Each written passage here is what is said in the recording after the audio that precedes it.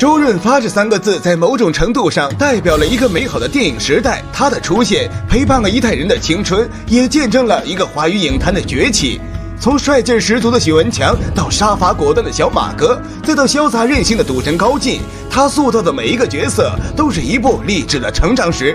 正如发哥在《英雄本色》中说的：“我要争一口气，不是想证明我了不起，我是要告诉人家我失去的东西，我一定要拿回来。”历经数余载，发哥终于影坛封神，站在了荧屏的最顶端。可是任何的成功，他都没有捷径。从打工仔到影帝封神，那些发哥如今可以笑看的辛酸往事，那段铸造他精湛演技的经历，还有那段恪守不渝的感情，这些已经成为发哥深情回忆的点点滴滴。我们将一一道来。年少入江湖，应征遇贵人。和大多数成功人一样，周润发也有一段心酸的往事和一个出身不怎么样的家庭。五五年出生的周润发，由于家庭原因，在十岁的时候便过早地踏入了社会，寻找工作。在长达八年的时间里，他一直生活在这个社会的最底层，从电子厂童工到酒店服务员，从邮差到售货员，他见过了太多的悲欢离合、人情冷暖。当然。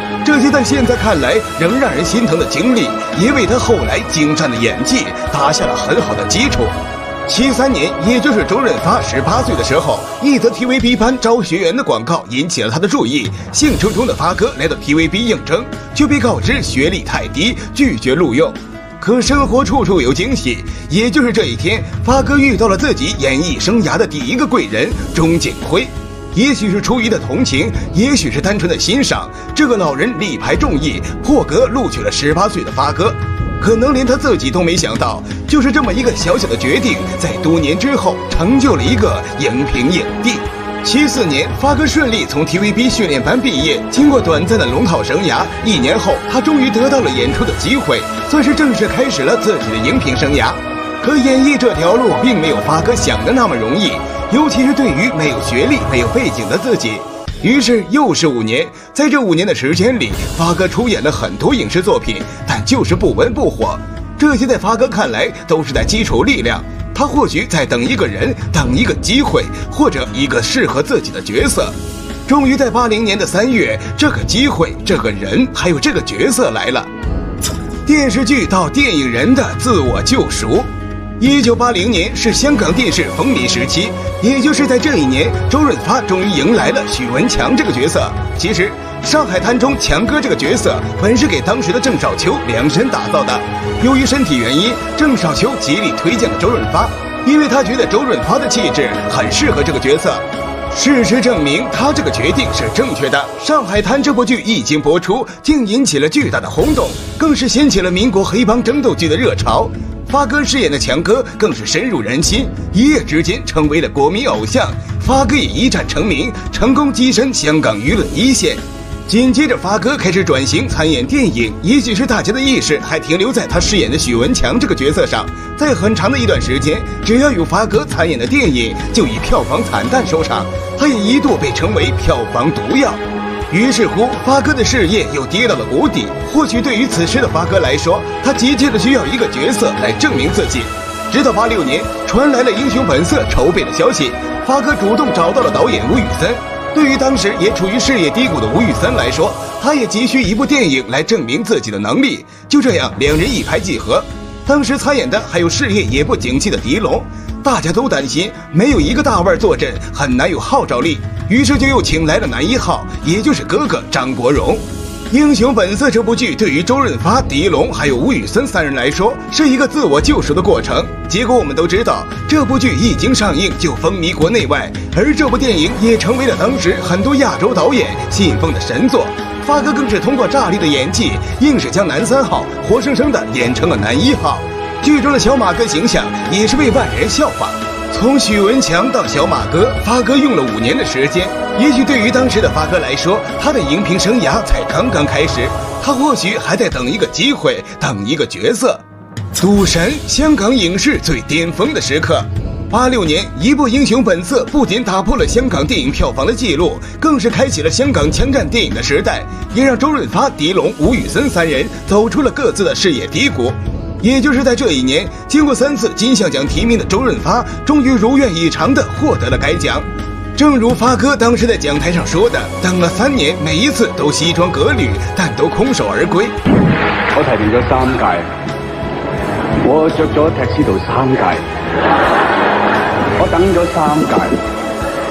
点解今晚等我冇心理准备，同埋最尾嘅时候出嚟出到呢個獎？之后的发哥更是凭借小马哥这一角色，成功的摆脱了票房毒药的称号，也正式奠定了自己在香港乃至整个亚洲影坛的地位。在很长一段时间，发哥也成为了香港电影票房的保障。时隔三年，也就是八九年，《赌神》上映了。这部电影对于香港商业电影产生的影响，并不亚于《英雄本色》。毫不夸张地说，它代表了八零九零年代香港影视最巅峰的时刻。赌神一经上映就受到了广泛的关注，同时也掀起了盛大的赌片风潮。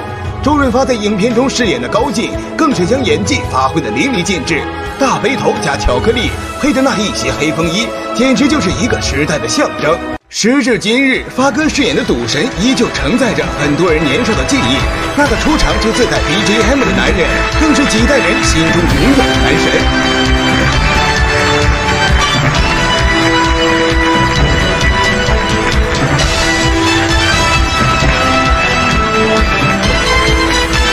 在暂时的成功和喜悦中，发哥并没有迷失自己。在现在看来，发哥当时饰演的大都是苦情英雄角色，可能他自己也觉得再这样下去，戏路会变窄。为了让自己的演技和往后的戏路更加宽广，他不顾周围好友的劝阻，决定只身一人前往好莱坞闯荡。可好莱坞就真的适合发哥吗？失意的十年，好莱坞荧屏生涯。都说好莱坞是电影人的天堂，每一个电影人都向往着能在好莱坞闯出一片自己的天地。所以很多明星更是把它视为毕生的梦。九五年，周润发在自己演艺生涯最巅峰的时候，选择了去好莱坞发展。他放弃国内的资源，从零开始，这等魄力也是很多人不敢尝试的。可发哥还是潇洒地迈出了这一步。《替身杀手》是周润发在好莱坞的首秀，这部影片继续沿用发哥荧屏枪神的形象，一经上映反响平平，大部分影迷更是抱怨十足。紧接着，发哥主演的第二部电影《邊緣戰士》。在影片中，发哥所展现的演技还是被认可的，但是收视票房却惨不忍睹。好在发哥并没有太上心，他或许在等一个证明自己的角色。终于，随着《安娜与国王》的上映，大家眼前一亮。在影片里，周润发饰演一位东方国王，他把中西文化带来的差异和碰撞饰演得活灵活现。可是影片的质量再高也没卵用，始终还是不太符合西方人的口味。在此之后，周润发在好莱坞的发展已经严重受阻，几乎都接不到任何片子。二零零零年，周润发机缘巧合先参演了李安导演的剧情片《卧虎藏龙》。影片中，发哥饰演的李慕白一改往日放荡不羁的形象，呈现给人们的是一份深沉内敛。后来大家都知道了，《卧虎藏龙》一经上映就红遍全球，发哥也算是在好莱坞打响了名头。可此时的周润发对好莱坞的电影已经彻底失望了，走了一圈，他才发现还是华人电影世界最懂他。于是他又辗转回到国内发展。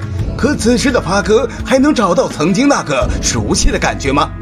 举手投足一部戏。零六年，一部《满城尽带黄金甲》宣告了发哥的归来，这也是周润发阔别香港影坛十年后的首秀。这一年，发哥已经年过半百了。十年的好莱坞影評生涯，让发哥的脸上多了一分沧桑感。虽说《黄金甲》这部影片口碑并不怎么样，但是发哥还是贡献了堪比教科书般的演技。此时的发哥早已不需要好莱坞的肯定，他需要的只是继续攀登自己演技生涯的高峰。零七年，一部《让子弹飞》让影迷们看到了发哥那个黄金十年的风采。